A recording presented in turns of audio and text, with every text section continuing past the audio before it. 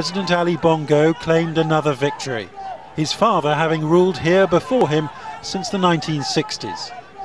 50 years, we're tired, and this is why we're making demands. Yesterday, protesters attacked Parliament after the election result was announced. Just 6,000 votes between the two candidates. Bongo's rival, Jean Ping, a former diplomat, winning in six out of nine provinces. The violence sparked by a vast turnout reported from the president's home province, which allowed him to give this acceptance speech. A majority of you voted for me in this election, but all the people voted in peace and transparency, which I congratulate you for. Mr. Ping says everyone knows he won, while the US and the old colonial power France have called for Gabon to publish each polling station result. Last night, Ping's party headquarters were attacked by the Presidential Guard and the police. The government said it was targeting criminals who had attacked the parliament first. Dozens have been injured, three people reported killed, over a thousand arrested, and no sign of an end to this political crisis. I have decided that as soon as they remove my bullets, I'll be back out on the streets tomorrow. The opposition are calling on President Bongo to step down. This country of under 2 million people thrown into chaos by this election result. Well, a short time ago, I spoke to Jean Ping on the phone from Libreville. I started by asking what the situation was there.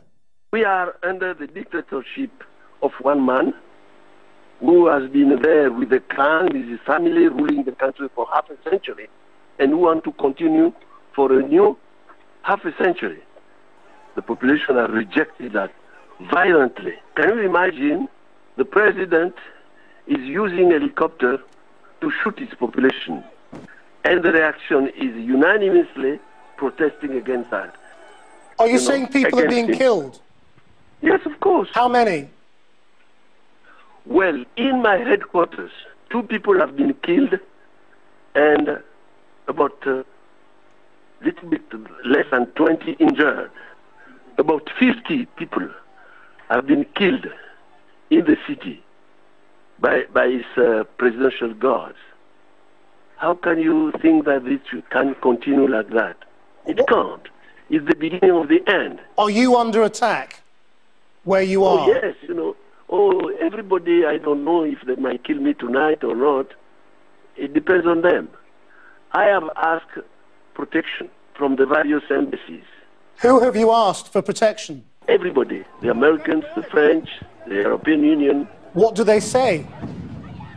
They say uh, we are transmitting your, the demand to our authorities. So I am waiting for. How will this be solved? Should the election be rerun? No, no, no. We are not asking for a rerunning of election because things are clear.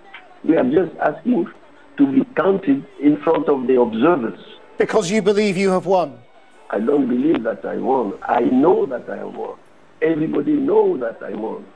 The president says they are criminals. Well, you see, this is somebody who is a criminal, you know, calling the peaceful people criminal. It's always like that with that man. You know, who is criminal? Who has been confiscating the power for 50 years of this country? Is it me or him? The besieged opposition leader in Gabon, Jean Ping. Cathy. Thanks, Krish.